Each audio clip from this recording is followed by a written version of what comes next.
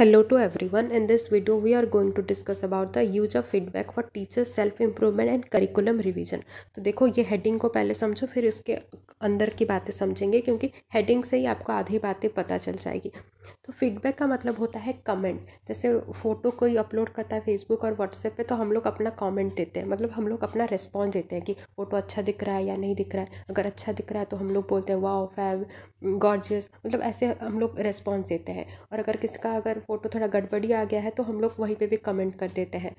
मतलब कमेंट मतलब क्या? हम लोग अपना रिस्पॉन्स दे रहे हैं कि हमको वो वाला कैसा लगा. फीडबैक का मतलब भी वही होता है, हम लोग अपना रिस्पॉन्स देते हैं।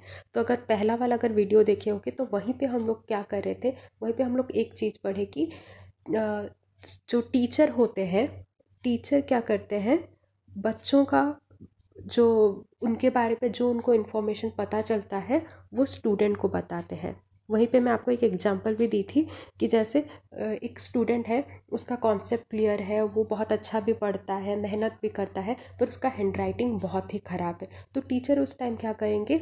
स्टूडेंट को फीडबैक देंगे कि देखो, तुम्हारा सब कुछ ठीक है, तुम्हारा कॉन्सेप्ट ठीक है, तुम अच्छा पढ़ भी रहे हो, पर तुम्हारे हैंड राइटिंग के लिए तुम्हारे मार्क्स ठीक नहीं आ रहे हैं। तो तुम अपना हैंड राइटिंग को सुधारो ताकि तुम्हारा अच्छा मार्क्स आएगा। तो यहीं पे क्या कर रहे हैं? टीचर स्टूडेंट को फीडबैक दे रहे हैं। यहीं पे इस हेडिंग पे पूरा उसका उल्टा हो जाएगा। यहीं पे स्टूडेंट टीचर को फीडबैक देंगे कि कैसे उनके टीचर पढ़ा रहे हैं। अगर उनके टीचर अगर कुछ अगर गड़बड़ कर रहे हैं तो वो बताएँगे अपने टीचर को। तो टीचर फिर क्या करेगा? जो स्टूडेंट का फीडबैक जो मिला होगा, उसके ऊपर फिर वो काम करेगा कि अच्छा मैं ये नहीं कर रहा हूँ। तो मतलब वो खुद अपने आप का जो गलती है उसको सुधारेगा, ओके? तो यहीं पे क्या होगा?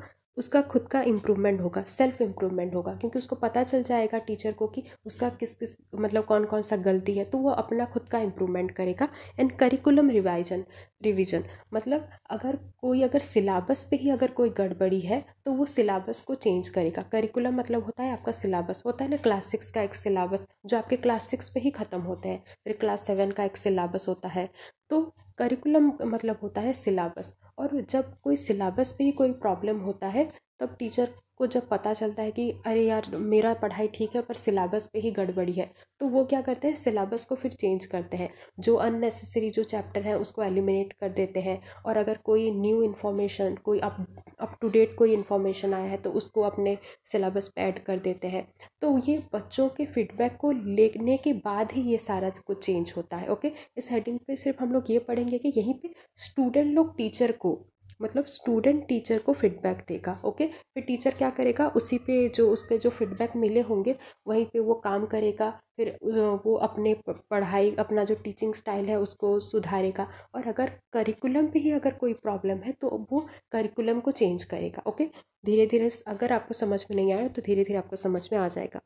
ये पे क्या होता है? Student feedback has become the most widely use and is the source of information to evaluate and improve teaching effectiveness आप कितना अच्छा पढ़ा रहे हो, वो आपको स्टूडेंट के फीडबैक से ही पता चलता है। और ये एक बहुत ही मतलब वाइडली यूज़ टूल भी है। मतलब स्टूडेंट के फीडबैक से ही आपको पता चलेगा कि आप कितना अच्छा पढ़ा रहे हो। और अगर आपका मतलब कोई गड़बड़ी है, कोई वीकनेस है तो आपको वो स्टूडेंट ही बताते हैं। कि नहीं सर, आपका ये प्रॉब्लम है, आप थोड़ा उसको सुधारो। जैसे कुछ कुछ टीचर होते हैं, बहुत फास्ट बोलते हैं, इतना जल्दी फास्ट बोलते हैं कि मतलब आधा बच्चा वो कैच ही नहीं कर पाते हैं। तो उस टाइम स्टूडेंट बोलेंगे कि नहीं सर, आप अच्छा पढ़ाते हो, नोट्स भी अच्छा देते हो, पर आपका जो पढ़ाई है बहुत फास्ट होता है, वो हम लोग समझ नहीं पाते हैं। और जैसे और एक आपको फीडबैक मिला कि कुछ कुछ टीचर होते हैं ज़्यादा ब्लैक बोर्ड और वो चौक ज़्यादा यूज़ नहीं करते हैं। तो उस टाइम स्टूडेंट बोल सकते हैं कि आप ऐसे मतलब से पढ़ाई मत करो, सिर्फ़ ब्लैक बोर्ड पर थोड़ा थोड़ा लिखो भी ताकि हमको समझ में आए। और कुछ टीचर ऐसे होते हैं कि डायग्राम नहीं बनाते। वो लोग बोलते हैं कि बुक से देख लो। मतलब बुक से ही रेफ़र करते हैं। पर हम लोग जब कुछ पढ़ा रहते हैं और ब्लैक बोर्ड पर उसका डायग्राम बना लेते हैं तो बच्चे और मतलब एंगेज हो जाते हैं उस क्लासरूम से।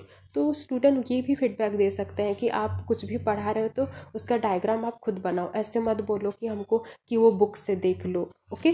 तो ऐसे ऐसे फीडबैक आपको क्लासरूम से मिल सकते हैं। फिर अगर आपको कोई फीडबैक मिल रहा है तो ऐसा नहीं कि दुखी मनाओ।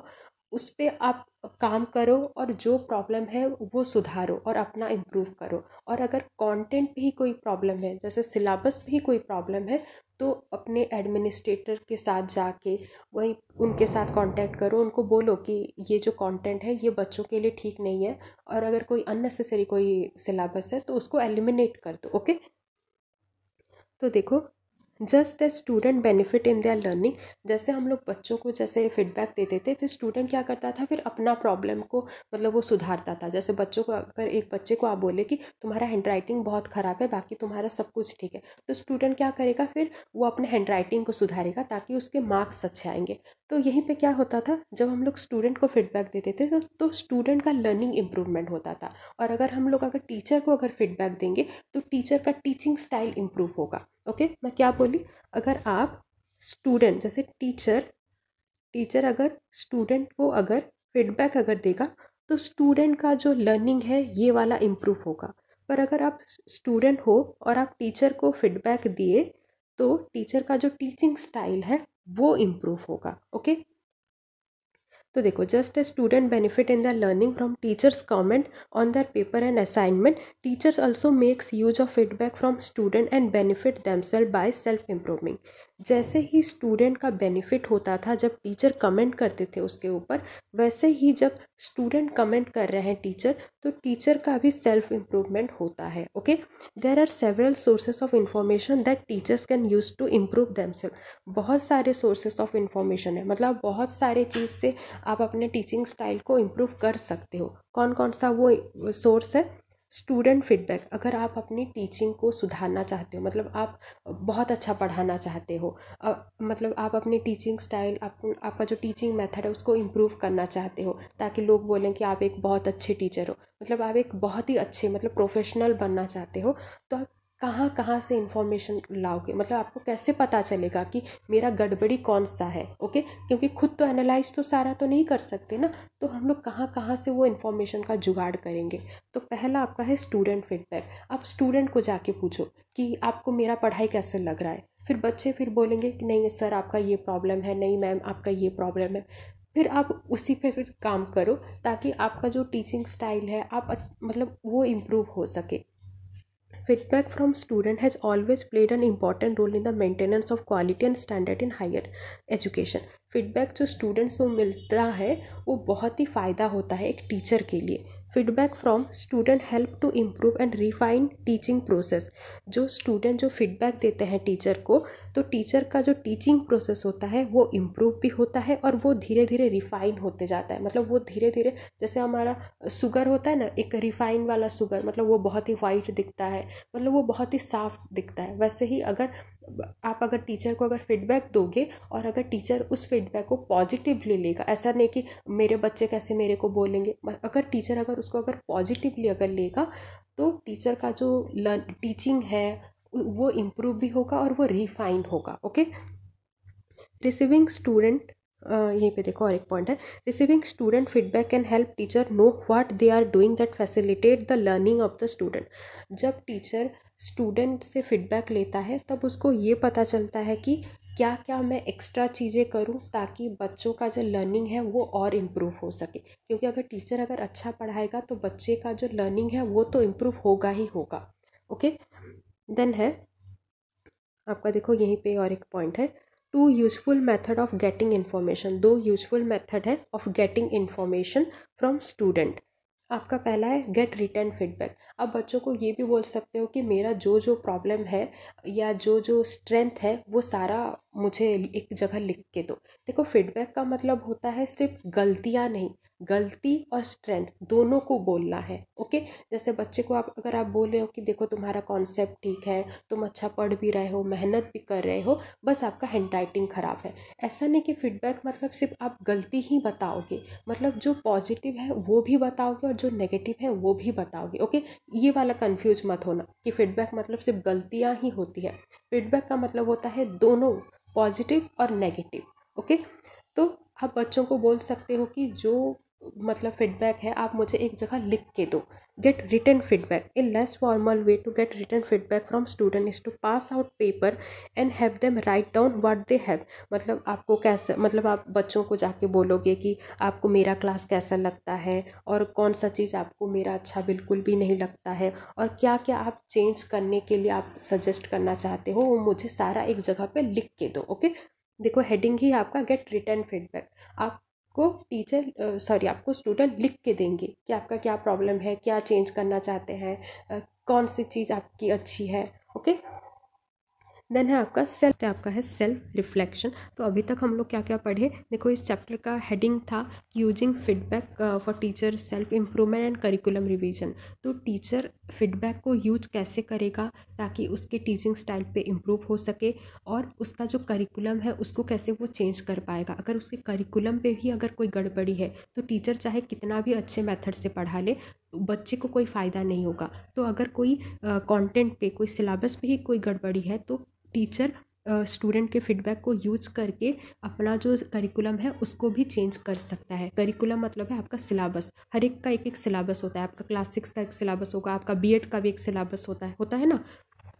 तो यहीं पे है आपका सेल्फ रिफ्लेक्शन मतलब एक टीचर खुद भी मतलब उसको भी, को खुद भी अपना इंस्पेक्शन कर सकता है कि वो कितना क्लास पे अच्छा पढ़ाता है, ओके? वो खुद भी अपना जाँच पड़ताल कर सकता है। वो होता है आपका सेल्फ रिफ्लेक्शन तो keeping a teaching journal can be a useful tool to help teacher reflect on their teaching अगर एक टीचर अपने पास एक टीचिंग अगर जर्नल भी रखेगा तो उसका उसको खुद को भी पता चलेगा कि वो कितना अच्छा पढ़ रहा, पढ़ा रहा है क्लास पे।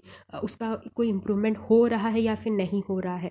तो टीचिंग जर्नल का मतलब होता है, एक डायरी टाइप का होता है। बहुत बच्चे ये रखते हैं, जैसे रात को सोने से पहले लिखते हैं। उनका पूरा जो दिन भर का जो एक्सपीरियंस होता है, वो लोग वहीं पर लिखते हैं। जैसे जैसे कोई बच्चा लिख रहा है कि मैं सुबह जल्दी नहीं उठता हूँ और मैं कल से जल्दी जल्दी उठूँगा।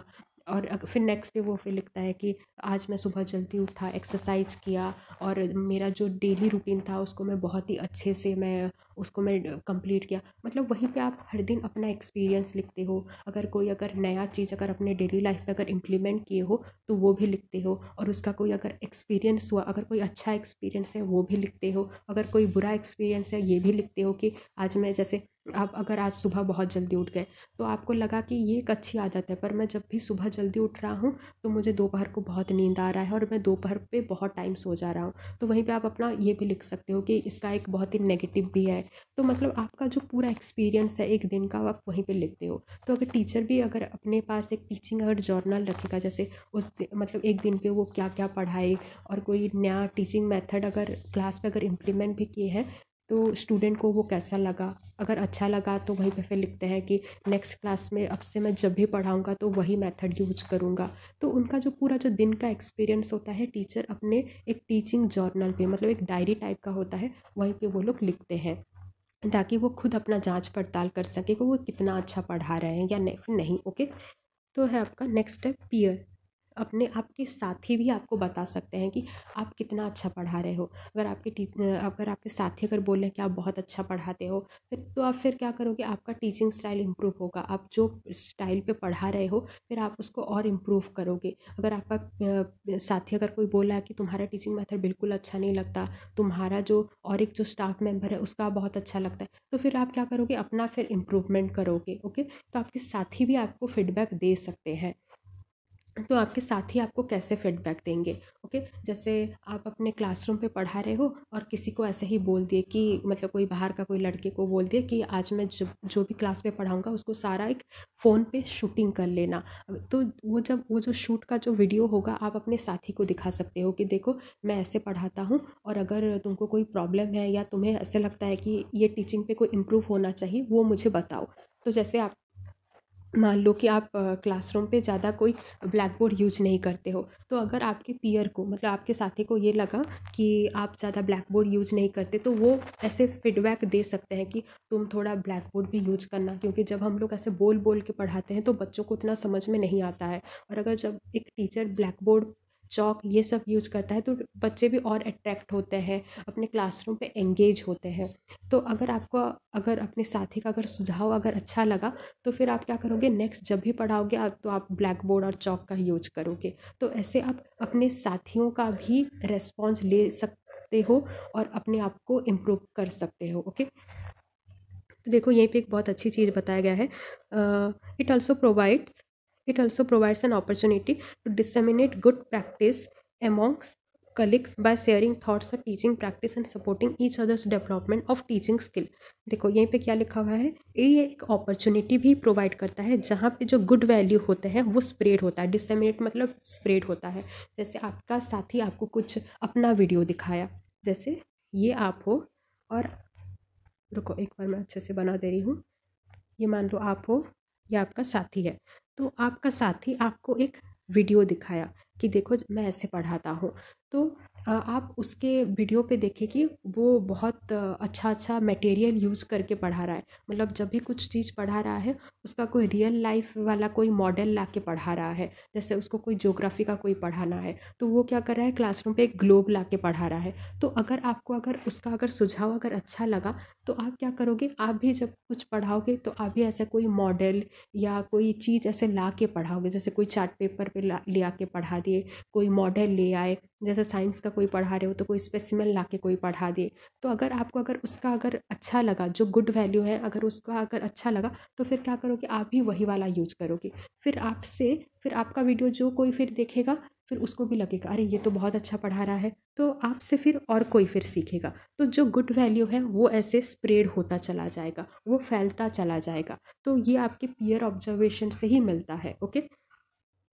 देन आपका है कंसल्टेशन विद स्टाफ मेंबर जब हम लोग अपने स्टाफ मेंबर से कंसल्ट करते हैं कि मैं कितना अच्छा पढ़ाता हूँ और वो लोग जब हमें एक रिव्यू देते हैं, वो एक बहुत ही अच्छा टूल होता है अपना टीचिंग स्टाइल को इम्प्रूव करने का okay observation are most effective and approach as a collaboration mean to benefit all involve तो ऑब्जर्वेशन एक बहुत ही इफ़ेक्टिव होता है क्योंकि हम लोग दूसरों का टीचिंग मैथड देखते हैं, फिर दूसरे वाला फिर हमारा देखता है। तो वहीं पर क्या होता है, हमारे बीच में एक कोलाब्रेशन होता है कि तुम्हारा टीचिंग स्टाइल अच्छा है तो जो अच्छा होता है वो फैलता है। और जो बुरा होता है तो फिर टीचर को लगता है अरे मैं अच्छा से नहीं पढ़ा रहा हूँ अब मुझे थोड़ा अपने आप को इम्प्रूव करना है। तो हम लोग अपने जब स्टाफ मेंबर अपने पीयर अपने कलीग्स के साथ जब हम लोग अपना टीचिंग मेथड को शेयर करते हैं हमको अप, हम लोग जब उनको जब अपना टीचिंग मेथड बताते हैं तो वहीं से भी एक टीचर अपने आप का जो टीचिंग मेथड है उसको इम्प्रूव कर सकता है ओके और ये जो जो है ना मतलब पीयर का फीडबैक लेना स्टूडेंट का फीडबैक लेना, ये सबसे चीप और इजी मतलब टर्म्स होता है अपने आप को इम्प्रूव करने का। क्योंकि यहीं पे कोई पैसा वैसा नहीं लगता। आप बच्चों को बोलो कि, आपको कैसा मेरा पढ़ाई लग रहा है, मेरे को बताओ। तो यहीं पे कोई पैसा नहीं लग रहा। है ये सबसे चीप और इफ़ेक्टिव वे है अपना टीचिंग मेथड को इम्प्रूव करने का। देन है आपका करिकुलम रिवीजन करिकुलम मतलब है आपका सिलेबस तो देखो, हर एक का एक एक सिलेबस होता है। आपका बी एड थर्ड सेमेस्टर का एक सिलेबस है। सेकेंड सेमेस्टर को का एक सिलेबस है। तो मान लो, अगर आपका सिलेबस पे ही कोई गड़बड़ी है तो टीचर चाहे जितना भी मेथड अच्छे मेथड से पढ़ाए, आपको कोई फ़ायदा नहीं होगा। तो अगर बच्चे को अगर लग रहा है कि कोई कंटेंट पे ही गड़बड़ी है, कोई सिलेबस पे ही गड़बड़ी है तो आप क्या करोगे? आप अपने एडमिनिस्ट्रेटर क्योंकि करिकुलम रिवीजन है मतलब छोटी बात नहीं है, ऐसे आप खुद ऐसे चेंज नहीं कर सकते हैं। करिकुलम चेंज करने के लिए आपको थोड़े हायर अथॉरिटी के पास थोड़ा जाना पड़ सकता है, और वहीं पर बहुत सारे मीटिंग होते हैं, बहुत सारे डिस्कशन होते हैं, उसके बाद ही कोई सिलेबस चेंज होता है। आप ऐसे मन में ऐसे सिलेबस चेंज नहीं कर सकते हो। हाँ आप बच्चों का फीडबैक लेके आप बोल सकते हो कि ये वाला जो चैप्टर है, ये बच्चों का कोई फ़ायदा नहीं हो रहा है और आप इस सिलेबस को हटा दो। होता है ना, आपका बहुत बार ऐसे सी टेट हो गया, कोई C S I U G C NET का एग्ज़ाम होता है, वहीं पे सिलेबस चेंज हो जाता है। तो वो सिलेबस चेंज क्यों होता है? स्टूडेंट का फीडबैक लेके ही वो वाला चेंज होता है। ऐसे टीचर अपने मन में ऐसे वो चेंज नहीं करते हैं और वो जब भी चेंज होता है, बहुत ही फॉर्मल वे पे चेंज होता है ओके तो curriculum revisions means making the curriculum different in some way मतलब जो सिलेबस होता है करिकुलम रिवीजन का मतलब होता है, जो करिकुलम होता है, उसको हम लोग थोड़ा बहुत उसको थोड़ा डिफरेंट बना देते हैं। To give it a new position और न्यू डायरेक्शन उसका थोड़ा मतलब पोजिशन या उसका जो दिशा होता है, उसको थोड़ा चेंज कर देते हैं। This often means alteration to its philosophy by way of its aims and objective alteration का मतलब चेंज कर देना मतलब उसका डायरेक्शन उसका पोजीशन उसका वे सारा कुछ चेंज कर देना okay curriculum is a runway for attending goals of education.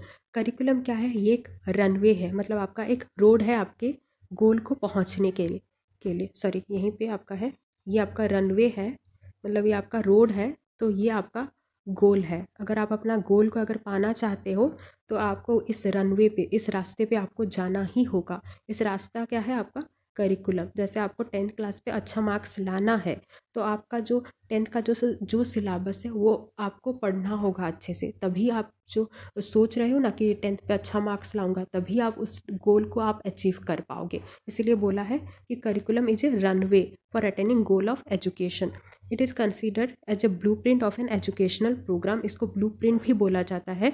The basis for any major curriculum change is significantly to improve the existing curriculum जब भी कोई करिकुलम रिविजन होता है, उसका मतलब है जो एग्जिस्ट कर रहा है मतलब अभी जो सिलेबस है, उसको थोड़ा इम्प्रूव करने के लिए ही करिकुलम रिविजन किया जाता है। ऑब्वियसली ये तो एक सच्ची बात है, वरना करिकुलम रिविजन क्यों होगा? जब आपको ये लगेगा कि जो एग्जिस्ट कर रहा है मतलब जो अभी है, वो थोड़ा अच्छा नहीं है। अगर उसको अगर इम्प्रूव करना है, उसी के लिए ही हम लोग करिकुलम रिविजन करते हैं। The process of curriculum changes help in the assessment of future जैसे जैसे ही आपका करिकुलम चेंज होता है, वैसे ही जो टीचर का जो असेसमेंट का जो प्रोसेस होता है, वो भी चेंज हो जाता है। क्योंकि जो हमारा असेसमेंट जो टीचर लेते हैं मतलब जैसे आपका एग्ज़ाम करवाते हैं, कोई क्विज करवाते हैं, ये सारे आपके असेसमेंट के अंडर जाते हैं। तो ये जो असेसमेंट होता है, वो आपके कॉन्टेंट मतलब आपके सिलेबस के अकॉर्डिंग ही होता है। देन है आपका the development of curriculum is never a completed project तो देखो जो आपका जो करिकुलम का जो डेवलपमेंट होता है, ये ऐसा नहीं कि एक बार अगर चेंज हो गया तो मतलब हज़ार साल वही रहेगा। तो ये कोई कंप्लीटेड प्रोजेक्ट नहीं है कि मतलब एक बार आप क्लास सिक्स का सिलेबस बना लिए तो दो, ये अभी दो, तीन हज़ार का साल का चलेगा। मतलब उसको मतलब रेगुलरली उसको थोड़ा चेंज करना होता है। रेगुलरली मतलब ऐसे नहीं कि हर एक साल पे उसको चेंज करो। अगर ज़रूरत पड़ा तो हर एक साल पे चेंज करो। अगर नहीं ज़रूरत पड़ा, ज़्यादातर ये ऐसा चेंज नहीं होता है। पाँच छः साल पर एक बार चेंज होता है ओके देन देखो यहीं पे लिखा हुआ है रीजन फॉर करिकुलम रिवीजन एक करिकुलम जब रिवाइज होता है, जब चेंज होता है, उसके क्या क्या रीजन हो सकते हैं? To restructure the curriculum according to the need interest और एबिलिटी ऑफ़ द लर्नर जब कोई हम लोग करिकुलम रिवीजन करते हैं तो वो बच्चों के नीड मतलब उनका नीड उनके इंटरेस्ट के अकॉर्डिंग ही हम लोग चेंज करते हैं। जैसे कोई चैप्टर है, बच्चों को वो इंटरेस्ट नहीं लगता है, उसका कोई फ़ायदा ही नहीं है बच्चों को तो हम लोग क्या करते हैं, उसको चेंज कर देते हैं। L to eliminate unnecessary unit जो बच्चों को अच्छा नहीं लगता, उस यूनिट को हम लोग डिलीट कर देते हैं मतलब एलिमिनेट कर देते हैं। To introduce latest and update method और जो न्यू है मतलब जो बच्चों को जानना ज़रूरी है, उसको हम लोग ऐड कर देते हैं। जैसे आपका एक साइंस पे एक एक ब्रांच है, जैसे आपका है माइक्रोबायोलॉजी माइक्रोबायोलॉजी शायद सब कोई जानते भी होंगे। माइक्रोबायोलॉजी वहीं पे बहुत छोटे छोटे माइक्रो ऑर्गेनिजम्स के बारे में पढ़ते हैं वायरस के बारे में पढ़ते हैं। तो देखो, अभी जो माइक्रोबायोलॉजी के जो स्टूडेंट हैं, अभी उनके लिए एक नया चैप्टर आ गया करोना वायरस तो करोना वायरस क्या है? ये अभी एक लेटेस्ट चैप्टर है। तो ये माइक्रोबायोलॉजी के जो कोर्स हैं, वहीं पे ऐड करना ही चाहिए, ताकि जो करी, जो करोना वायरस है, उसके बारे में माइक्रोबायोलॉजी स्टूडेंट जान सके ओके तो जो लेटेस्ट इन्फॉर्मेशन जो लेटेस्ट अपडेट होता है, वो आपके सिलेबस पे ऐड हो जाता है, और जो अननेसेसरी डाटा होते हैं, वो आपके एलिमिनेट हो जाते हैं। To base the new curriculum pattern on the ground of sociological, technological and psychological aspect जब भी कोई न्यू करिकुलम होता है, वो आपके सोशियोलॉजिकल, टेक्नोलॉजिकल और साइकोलॉजिकल एस्पेक्ट को लेके ही ये करिकुलम बनाया जाता है। देन आपका है stages in the curriculum revision process. तो करिकुलम जब रिवाइज करने का होता है तो कैसे करते हैं? तो देखो, मैं पहले से भी बोलती हूँ कि ये ऐसा नहीं कि आपको अगर ये लगा कि बच्चों को अच्छा नहीं लगा तो खुद आप चेंज कर लोगे। इसके लिए थोड़े फॉर्मल डिस्कशन, फॉर्मल मीटिंग बहुत सारे होते हैं। उसके बाद ही आप एक सिलेबस को चेंज कर पाओगे। तो कैसे कैसे होता है? उसका नेक्स्ट है stages in the curriculum revision process जब एक सिलेबस जब चेंज होता है तो ऐसा ही मतलब एक टीचर आके डायरेक्टली उसको सिलेबस नहीं, पे चेंज नहीं कर पाएगा। उसके बहुत ही फॉर्मल डिस्कशन होते हैं, बहुत सारे फॉर्मल मीटिंग्स होते हैं। उसके बाद ही एक सिलेबस चेंज होता है ओके करिकुलम रिवीजन ऐसे कोई मतलब आसान नहीं है मतलब टीचर को जो अच्छा नहीं लगेगा, वो ऐसे ही एलिमिनेट नहीं कर सकता है। उसके लिए बहुत सारे फॉर्मल मीटिंग फॉर्मल डिस्कशन होते हैं, उसके बाद ही चेंज होता है। तो जब ये जो करिकुलम रिवीजन होता रहता है तो पहला स्टेप आपका क्या है? तो पहला क्या देख के ही एक करिकुलम चेंज होता है। तो पहला क्या करते हैं? जो आपके करंट है मतलब आपका करंट सिलेबस क्या है, जो अभी आप यूज़ कर रहे हैं। जैसे आप चाहते हो, जैसे आपके स्टूडेंट बोले कि आपका जो क्लासेस का जो एक एक चैप्टर है, वो बिल्कुल भी अच्छा नहीं है। सर प्लीज़ आप उसको बोलो कि वो डिलीट कर दे हमारे सिलेबस पे। तो आप फिर क्या करोगे? आप अपने एडमिनिस्ट्रेटर अपने हायर अथॉरिटी से बात करोगे कि बच्चों को अच्छा नहीं लग रहा है, फिर वो लोग क्या करेंगे, फिर और कुछ अथॉरिटी को फिर बोलेंगे। तो तो लास्ट में क्या होता है तो जो बड़े बड़े अथॉरिटी होते हैं, जो मतलब रियली जो वन से टेंथ क्लास तक का सिलेबस को कंट्रोल करते हैं, फिर वो लोग बैठते हैं एक जगह, फिर वो लोग क्या करते हैं स्टूडेंट का बहुत सारे का फीडबैक लेते हैं। ऐसा नहीं कि सिर्फ़ एक स्टूडेंट का, बहुत सारे स्टूडेंट का फीडबैक लेते हैं। अगर, और अगर उनको लगा कि सच्ची में कोई सिलेबस में ही कोई गड़बड़ी है तो वो लोग फिर क्या करते हैं करंट सिलेबस जैसे आप सिक्स क्लास का सिलेबस को आप चेंज करना चाहते हो तो आप फिर क्या करोगे, जो आपका करंट सिलेबस है, उसको पहले लाओगे, आपका आपका करंट उद्देश्य क्या है? मतलब करंट ऑब्जेक्टिव क्या है? उसको पहले देखोगे, फिर क्या करोगे? सिक्स क्लास का जितना भी सिलेबस था, उसके जब हम लोग पढ़ा रहे थे, उसको कौन कौन सा मटेरियल सपोर्ट कर रहा था, उसको भी पढ़ोगे। मतलब पहला मतलब जो आपके पास है, उसको पहले देखोगे ओके फिर आप क्या करोगे?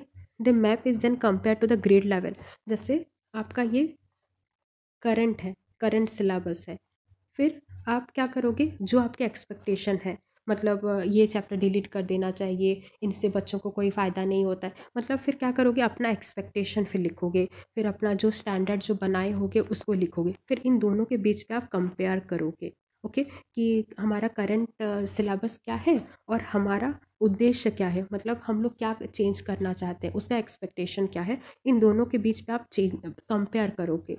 फिर आपका थर्ड है based on analysis of the of this comparison phase revise curriculum is develop to reflect updated expectation फिर क्या होता है, हम लोग जो अपना करंट सिलेबस को जो चेंज करना चाहते हैं, उसको कंपेयर करते हैं और फिर एक रिवाइज करिकुलम मतलब उस पर थोड़ा चेंज वेंज करके उसको थोड़ा अपडेट कर देते हैं, जो आपके अपडेट एक्सपेक्टेशन को मीट कर पाए ओके देन जब एक नया करिकुलम जब बन जाता है, तब हम लोग क्या करते हैं टीचर को बोलते हैं कि ये पढ़ा के देखो। मतलब आपको अच्छा लग रहा है या नहीं? क्योंकि अगर टीचर को ही अगर वो नया वाला अगर करिकुलम अगर अच्छा नहीं लग रहा, अगर उसको अगर एक टीचर ही पढ़ा नहीं सकता तो फ़ायदा क्या होगा?